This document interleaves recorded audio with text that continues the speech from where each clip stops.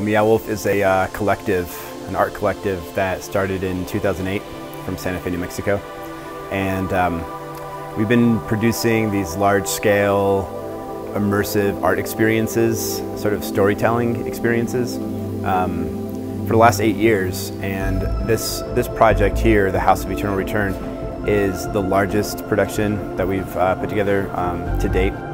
The House of Eternal Return is a science fiction story. It's a science fiction story that you as an audience member get to walk through rather than you know, read off of a page.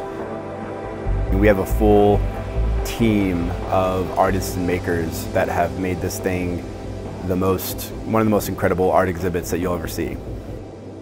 We're really excited about the project we're doing, but we're also really excited about the location that we're doing it in. Uh, this is a place that has long had a history of family-friendly, fun entertainment for the neighborhood and, and for this district, for the sort of center part of town. And since the bowling alley went away, it just has sort of sat here, you know, a bit, you know, a bit derelict. And so um, when George R. R. Martin saw the building was available and it was at that point there were no bowling alleys or bowling lanes in here at all and it was a total rundown sort of warehouse you know, George looked at it and said, yeah, let's do it. Let's revive this and turn it back into something.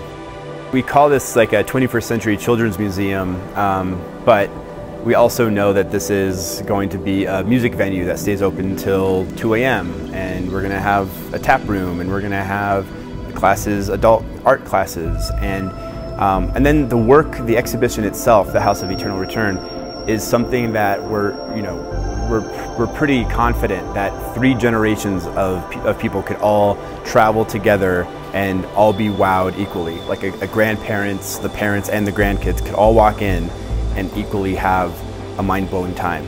So, you know, even though we are focusing on kids, um, I think our demographic of people who would actually enjoy what, what it is that we're producing is across the board. Our hope is that after that entertainment experience happens, that then the imagination is sparked, people want to create things, and we have two spaces where that can happen. We have the Arts Education Center, which is uh, going to be home to a nonprofit called Chimera, and that's going to be largely where kids will be able to take uh, art classes and learn computer programming, 3D modeling, painting, sculpting.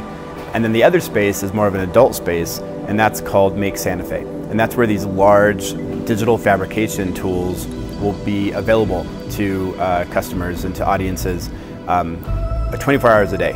So basically like a 3D printer, for instance. The Make Santa Fe will have a row of you know 10 3D printers and, and, and anyone in the public can come in and bring a design and get something 3D printed in, in Make Santa Fe. The Meow Wolf Art Complex will be open uh, Wednesdays through Sundays. We're going to take Mondays and Tuesdays off and uh, we'll be open from 10 a.m. until 8 p.m. And on weekends, we'll stay open a little bit later. So Friday nights and Saturday nights, usually if there's a music show, we'll stay open until midnight, maybe even beyond midnight. And we're going to be opening to the public on March 18th. And uh, hopefully we're going to be you know, open for, for quite some time. Once we get into the summer season, we'll start to open up on Mondays and keep our hours later during the week as well.